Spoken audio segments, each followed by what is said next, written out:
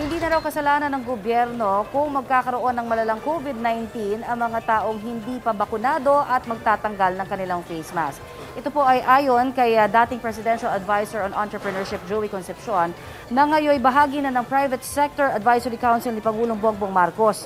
May booster shots naman daw kasi para sa publiko. Muli siyang nanawagan sa publiko na magpaturok na ng booster shot ngayong optional na lamang ang pagsusuot ng face mask sa open spaces.